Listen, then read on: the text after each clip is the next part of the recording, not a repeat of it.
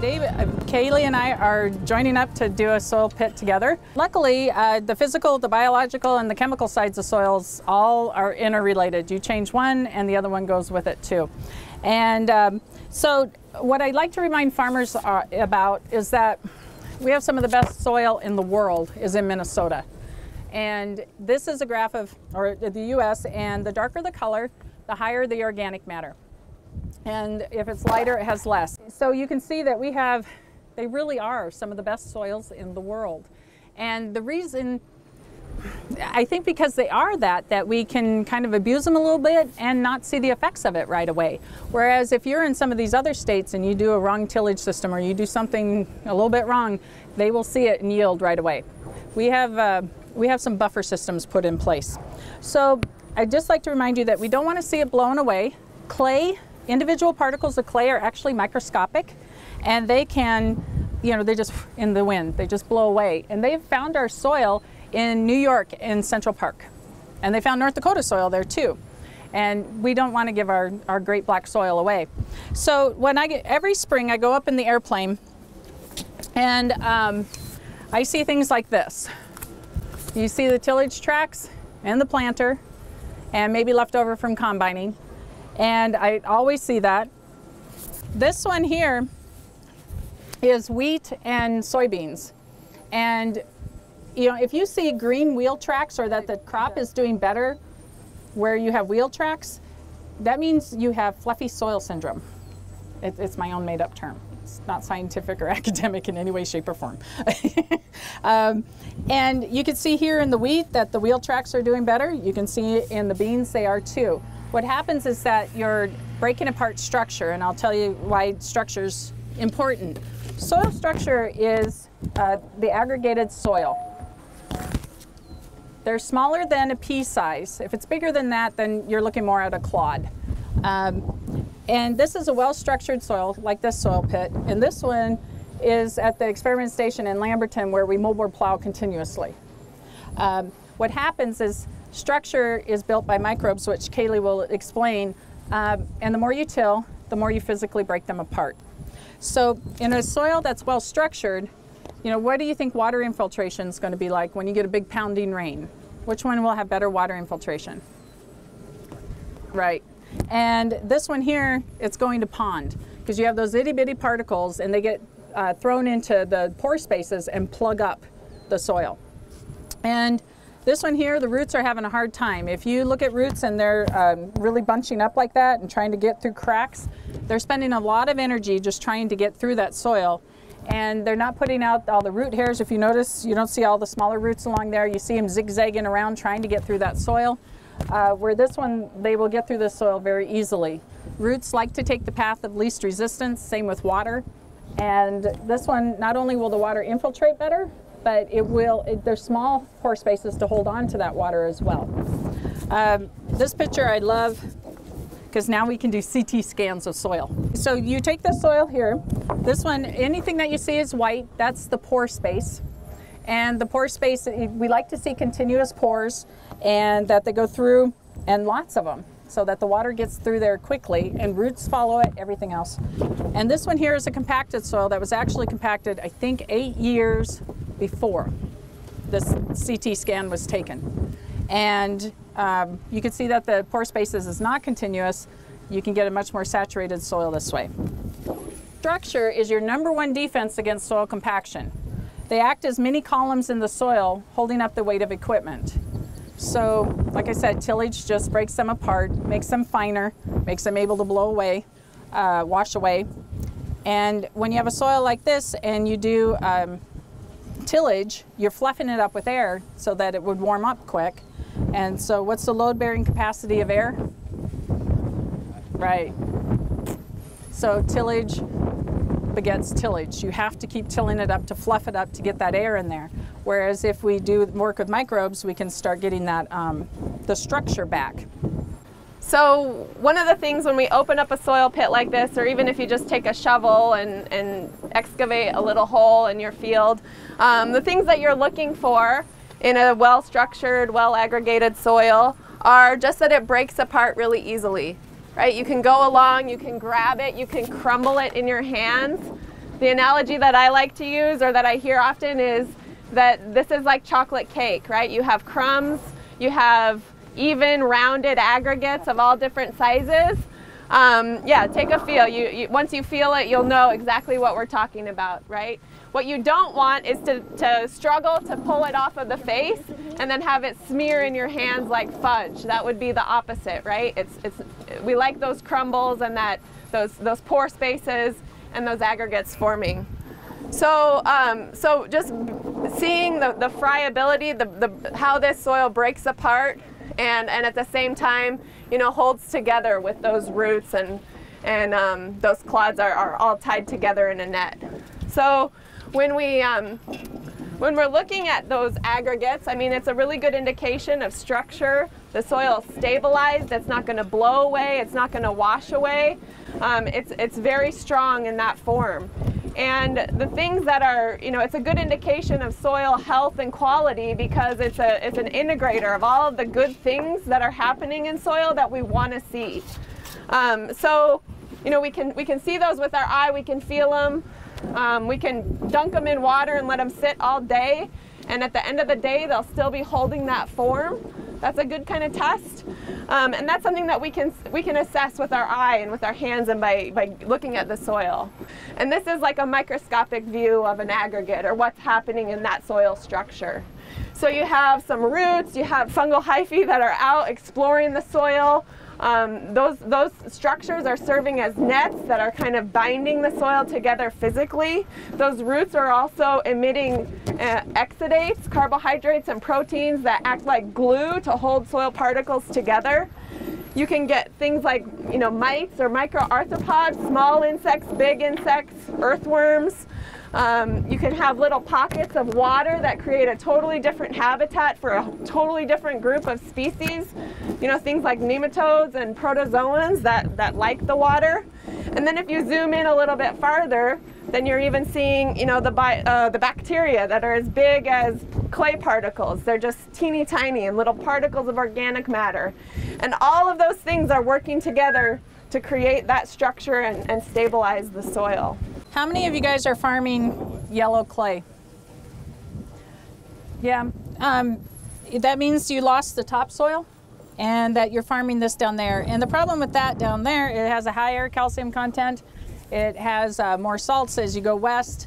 It uh, doesn't have the organic matter content in it. So your N, your, well, your nitrogen, sulfur, and phosphorus are lower much lower. So um, let's take a look at this pit a little deeper. You know, we're looking at the surface. We see lots of roots. That's what we like to see. It's, it's holding the soil together. Um, we have a lot of diversity here. This is a pasture, so we have this really um, netted rhizomatous legume in here. We've got grasses, there's some thistle, other weeds. Um, all of that diversity and, and that continuous cover is really doing a lot to keep that soil on the surface in place. But the other things that we look for when we're kind of assessing soil quality in a pit like this is that, yeah, you'll notice that the surface is dark. It has that nice, rich, um, dark color with high, high organic matter. Um, and as you move down in the profile, you definitely see the color change, but it's not like an abrupt line, you know? It's kind of this fuzzy transition from dark to light to more white. And, um, and the reason that that is, that is happening is because there are lots of, you know, the roots are creating channels that transport water and, and clay particles and, and organic matter down deeper in the soil earthworms are moving up and down and transporting material. And then we even have some bigger critters that are moving around in here. And so we were really lucky when we opened this pit yesterday to find that there's this kind of roundish circle right here of really light colored material that's been moved up um, into, the, into the surface soil. And that's not a smear from the bucket, it's, it's for real. and that's because a gopher probably came through here and created a tunnel and moved the subsoil up into the topsoil. And then we have the opposite thing happening right here, right, where the topsoil's been located down into this tunnel. Um, and so that's that's cool to see. Maybe not in a in a farm field, you know, maybe you don't want those guys hanging around, but but it's a really good illustration of the amount of movement of material and cycling of of matter that's happening in in the soil profile. So the things that we like to, you know, that, that we like to think about when we're thinking about promoting this biological activity in the soil, um, I mentioned a nice, diverse, thick cover. So maximizing the amount of time and space that you have live growing biomass present in the soil is going to really help those, those guys along. This green biomass, this primary productivity is the, is the foundation of the soil food web. So the bacteria and fungi and earthworms are going to come in and eat that dead stuff as it dies. And then there's going to be three or four trophic le levels of, of different species that are going to come in and eat off of them. And they're all interrelated into this very complicated web. And at the bottom is this is this organic matter. And so providing that and maintaining it through the long term gives that foundation and the food source for all of those things to live. Um, the soil structure that we've been talking about is really good for allowing air and water to, to move in and out of the soil. You know, these, these microbes really like uh, to, to be able to breathe oxygen just like us. Some of them don't. Um, if, you, if you have a saturated soil that, that has water standing or completely, you know, um, full on the surface and, and, you, and you smell that soil, it's like a, a mucky, sulfury smell. And those are anaerobic microbes that are, that are blowing off nitrogen gas and sulfur gas. And, and, that's because there's no oxygen in that soil for the things that are living in, in, in, a soil that, that's able to breathe and exchange oxygen with the environment. And what that means for farmers is that when you have a saturated soil, you can be losing two to four pounds of nitrogen per acre per day when those microbes are taking off the nit they're taking the oxygen from the nitrate, but they turn it into a gas and you'll lose it. So that's what the anaerobic bacteria are doing. Yeah.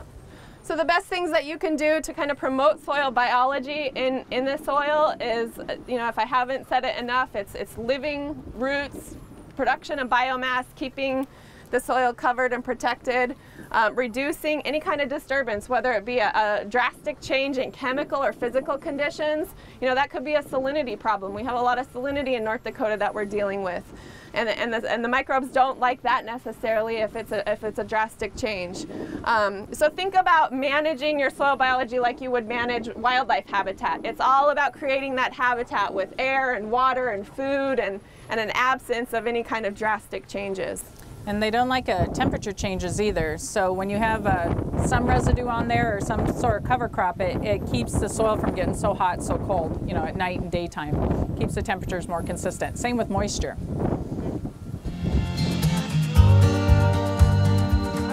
And we open up four rows. We always open up four because we can always find wheel traffic and see the difference out there. And so I just go across with my knife and figure out where it's getting harder to go the plow layer is harder. And you can see where the plow layer is. It's ending right here. And I hit wheel traffic. Oh, that's a good one. If it was dry, I could actually take it out. It usually is U-shaped if you have compaction.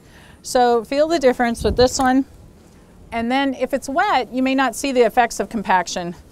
But when it dries out, I mean, you get the platiness and smearing.